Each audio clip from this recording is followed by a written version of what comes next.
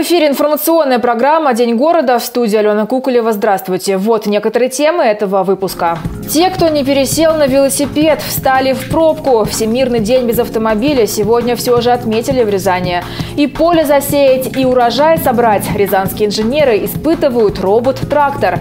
Выборы прошли, а ямы во дворах остались. Горожане заделывают их гипсовыми челюстями.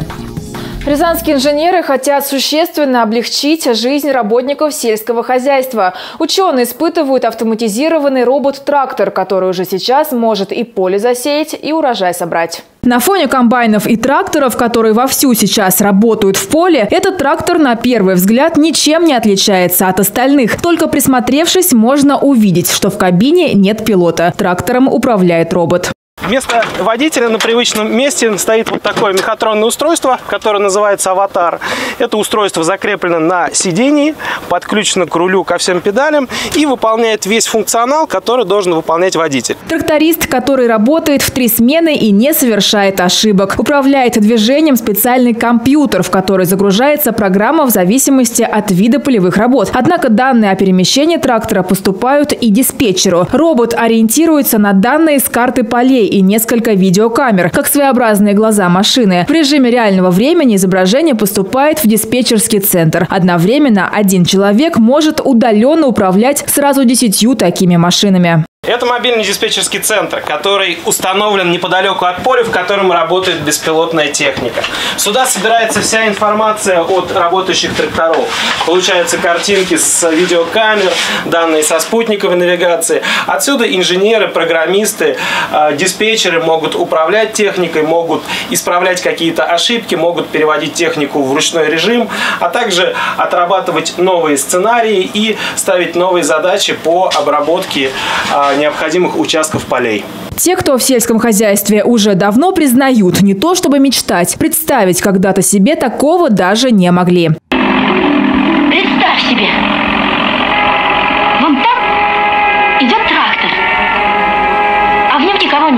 сегодня готовы брать роботы на вооружение. Беспилотная техника в поле должна в значительной степени повысить эффективность фермерских хозяйств. В этом уверены не только создатели агробота, но и ведущие агропредприятия. Очень эффективно. Ведь когда мы э, работаем просто техникой, физически человек сидит, то есть перекрытия какие-то, есть какие-то перезатраты нормативов, а здесь все как бы автоматизированно работает очень четко. И мы получаем продукцию, понятно, что значительно низкая себестоимость.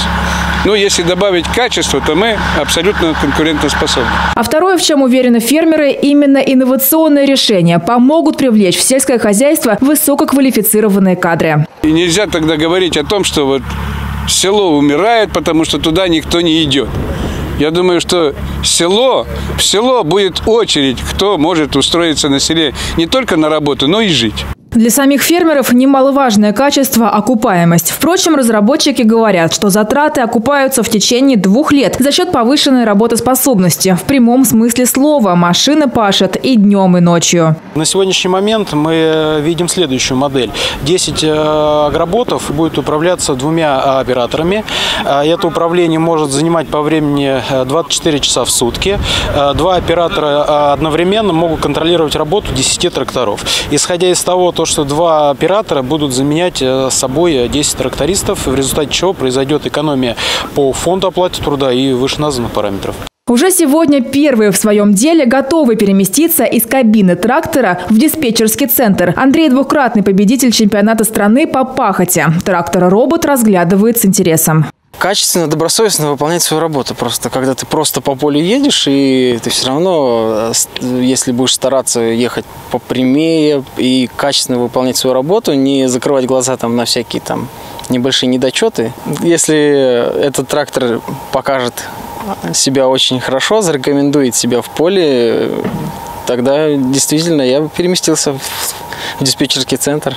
Задача этих испытаний – отработать в этом сезоне полный цикл посадки озимой пшеницы, чтобы в следующем году уже собрать урожай. Планы на ближайшее будущее – полностью автоматизировать систему сбора и обработки урожая. По словам разработчиков Агробота, им понадобится два года, чтобы окончательно устранить все недостатки конструкции и начать поставки сельхозпроизводителям. Алена Куколева, Игорь Глотов, телекомпания «Город».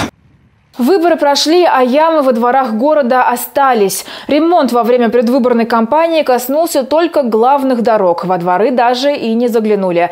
Зато рязанцы не отчаиваются и своими силами заделывают те выбоины, которые оставили без колес ни один автомобиль. В интернете появились фотографии, на которых видно, как яму засыпали гипсовыми челюстями. Засыпали яму подручными материалами. Жильцы помогают местному ТСЖ кто чем может, написал автор снимков. А время запломбировать ямы во дворе этого дома на самом деле пришло давно. Сюжет про асфальтовое покрытие на придомовой территории этих домов, а именно Новоселов 35 и 33, мы показывали в начале лета и даже отправляли обращение в госавтоинспекцию. На запрос отреагировали. Одну из выбоин засыпали щебнем. Как работает сервис, вы видите на экранах. Ямы к осени приобрели более масштабную угрозу для автомобилистов, поэтому люди и решают проблему, как говорится, кто чем может. Такие ямы могут стать достойной причиной оставить машину на стоянке и прогуляться пешком. Тем более сегодня Всемирный день без автомобиля. Как правило, эту экологическую акцию поддерживают тысячи городов и во многих странах. Как отметили ее в Рязани, знает Анна Герцовская. Во Всемирный день без автомобилей в Рязани состоялось множество мероприятий. В парках прошли велопробеги, в образовательных учреждениях для детей были проведены лекции на тему экологии и необходимости соблюдения правил дорожного движения. В этот день сам мир просит остановиться и подумать о сохранении экологии и поддержании здорового образа жизни. Так что, может быть, начиная с 22 сентября для многих велопрогулка станет частью жизни. Поскольку такой вид транспорта считается одним из самых экологичных, представители Представители администрации города Рязань в день отказа автомобилей также совершили велопробег. Колонну, которая проследовала в мемориальный парк на открытие соревнований по велокроссу, возглавила начальник управления по физической культуре и массовому спорту города Рязань Марина Кощеева. От имени и по поручению исполняющего обязанности главы администрации города Рязани Сергея Юрьевича Карабасова я вас всех приветствую. Хочу поздравить с замечательным праздником в жизни каждого человека. Вы своим примером показываете, что мы можем частичку э, вложить в экологическую ситуацию э, не только в нашем городе, не только в нашей стране, но и во всем мире. Зарядиться энергией и бодростью собрались велосипедисты разных возрастных групп. Но перед тем, как выдвинуться на старт, они прошли через небольшую разминку, согрелись на массовой зарядке, а также увидели выступление кандидата в мастера спорта по велотриалу.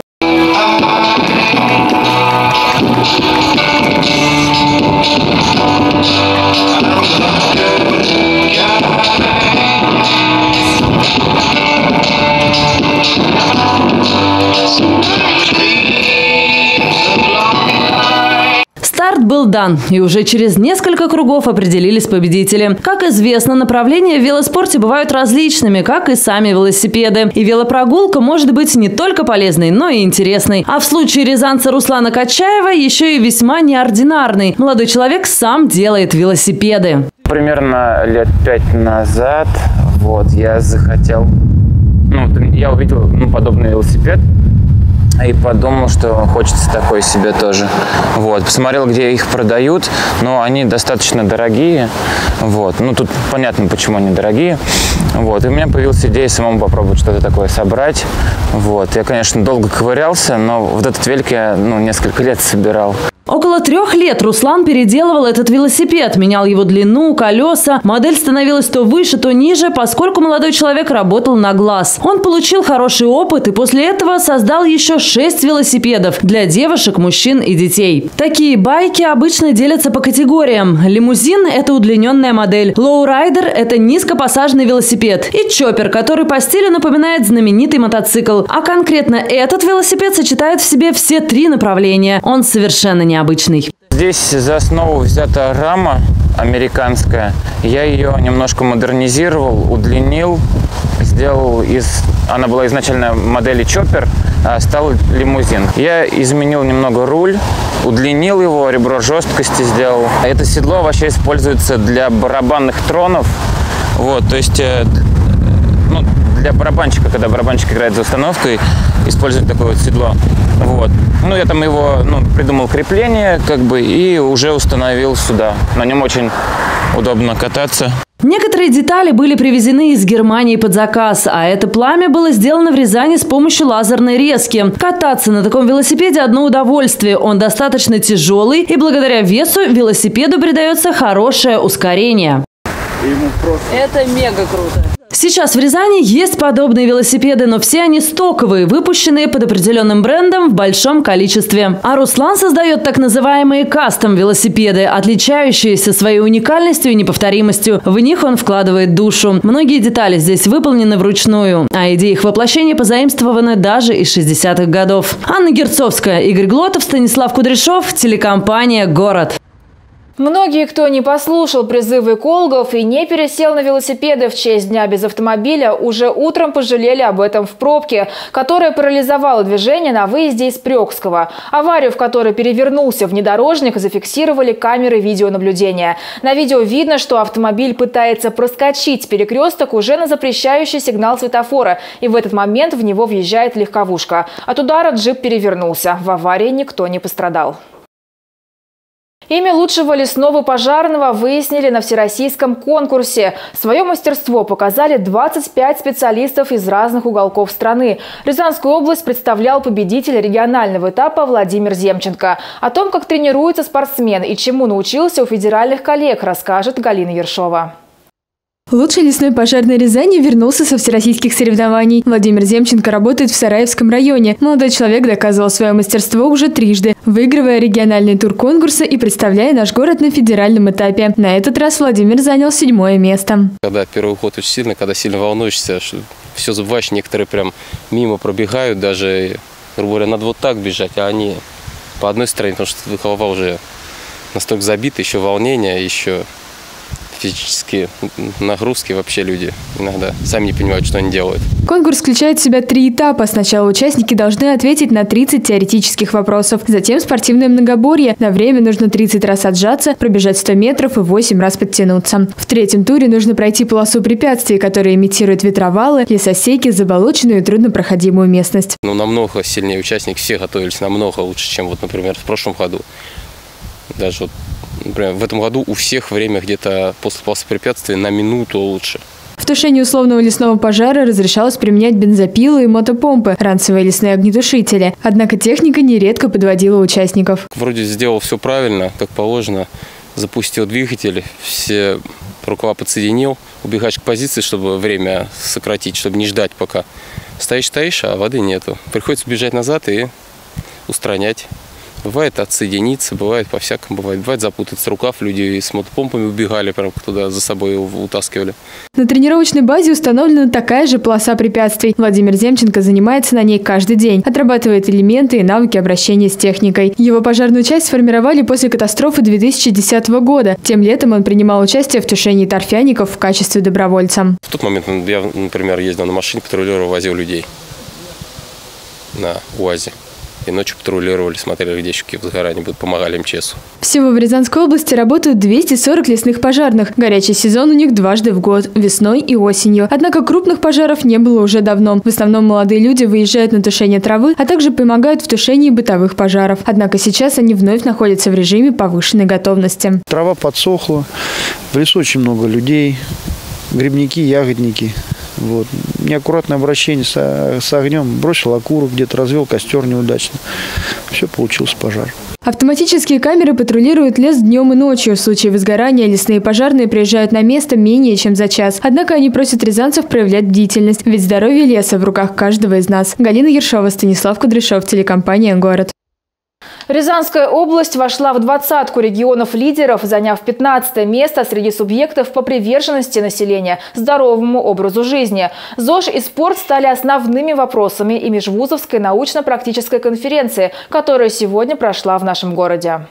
Здоровье каждого – богатство страны. Именно так называется первая межвузовская научно-практическая конференция. Прошла она в стенах Рязанского государственного медицинского университета имени академика Павлова. Сегодня на конференции мы подводим итоги проекту «Здоровье каждого – богатство страны».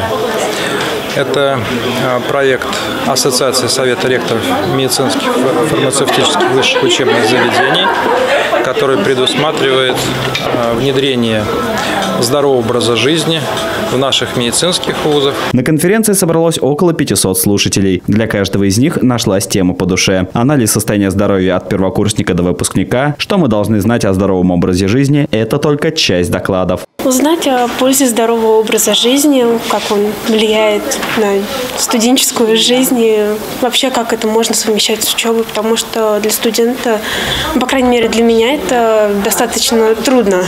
Узнать как бы статистику сравнения вузов Российской Федерации.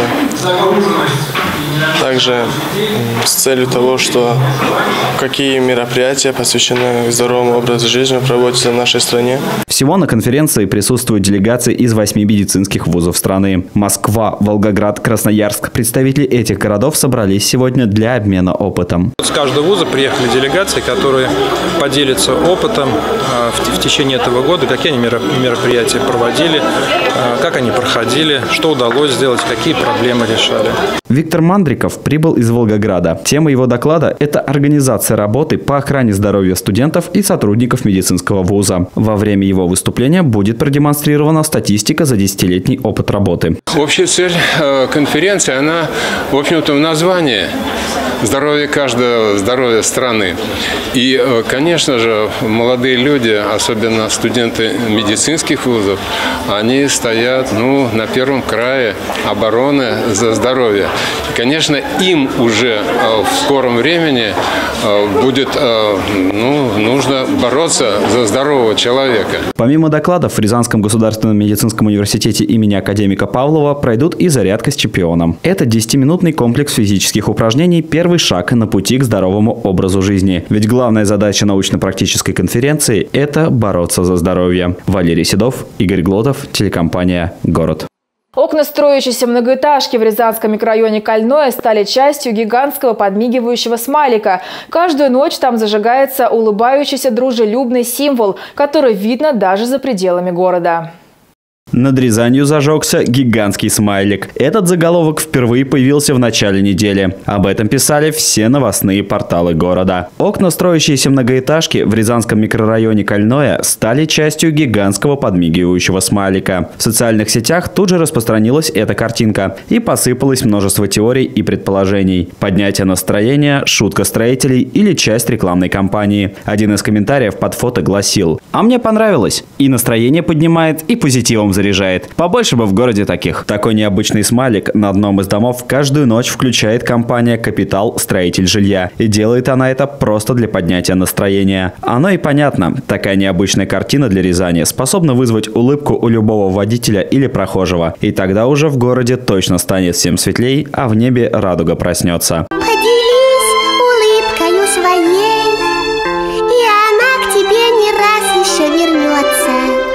Валерий Седов, Станислав Кудряшов, телекомпания «Город».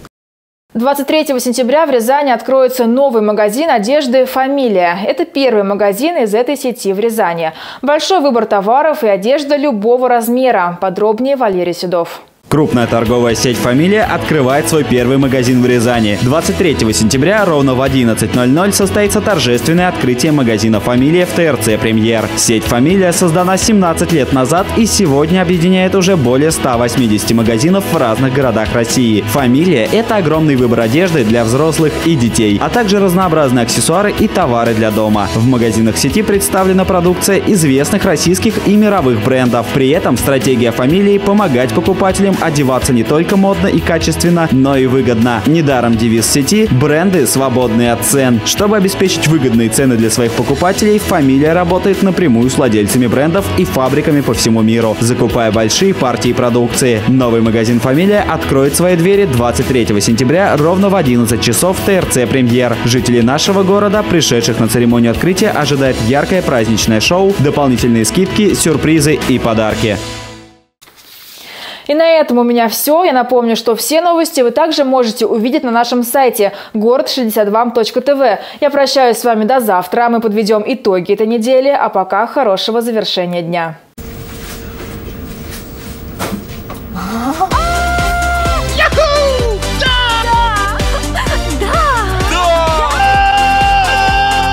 Это случилось! Обвал ипотечных ставок. Квартиры за 5,6% годовых. Только в компании «Зеленый сад» совместно со Сбербанком России и Рязанским ипотечным фондом.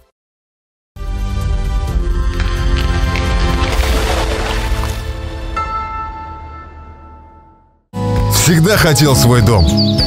Так, чтобы недалеко от города, в красивом месте с живой природой и чистым воздухом.